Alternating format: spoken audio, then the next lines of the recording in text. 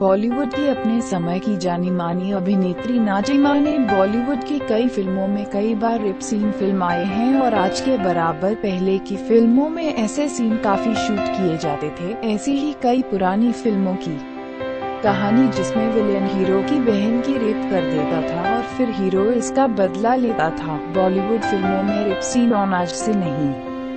बल्कि साठ के दशक से फिल्माए जा रहे हैं। आज के मुकाबले पहले की फ़िल्मों में ज़्यादा रिप सीन शूट किए जाते थे। आपने देखा होगा कि पुरानी फ़िल्मों की पूरी कहानी एक रेप पर आधारित होती थी। इन फ़िल्मों की यही एक खासियत हुआ करती थी कि पूरी की पूरी फ़िल्में की रेप सीन के कारण खींच जाया करती थी। आपने कई बार देखा होगा कि इन फ़िल्मों में रेप सीन बहुत ज़्यादा होते थे। लेकिन क्या आप यह जानते हैं कि वो कौन सी अभिनेत्री जिसने बड़े पर्दे पर सबसे ज़्यादा बार इस तरह के सीन शूट कराए हैं, आज हम आपको उस अभिनेत्री के बारे में बताते हैं जिसका रूप पहले पर्दे पर सबसे ज़्यादा बार रूप हुआ है। इस अभिनेत्री का नाम नाजिमा है और इन्हें बॉलीवुड में बेस्ट सपोर्टिंग एक्ट्रेस के रूप में जाना जाता है। 1972 में फ़िल्म बेईमान में अपनी ज़बरदस्त एक्टिंग के लिए उन्हें फ़िल्म फेयर अवार्ड से भी नवाजा जा चुका है। अभिनेत्री नाजिमा ने लगभग तीस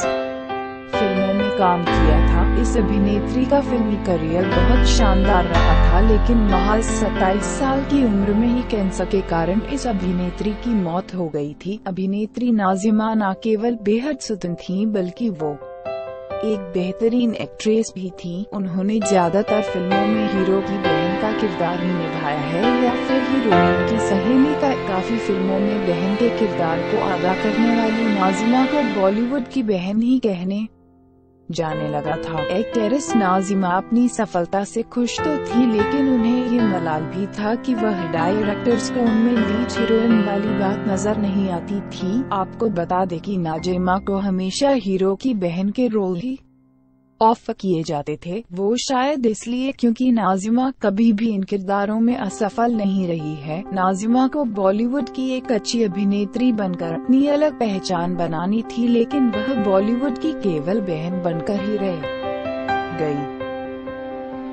इसी तरह आपको कुछ अलग तरह न्यूज़ रिपोर्ट्स आते रहेंगे। तो दोस्तों, जल्दी इस वीडियो को लाइक करो और सब्सक्राइब करें। धन्यवाद।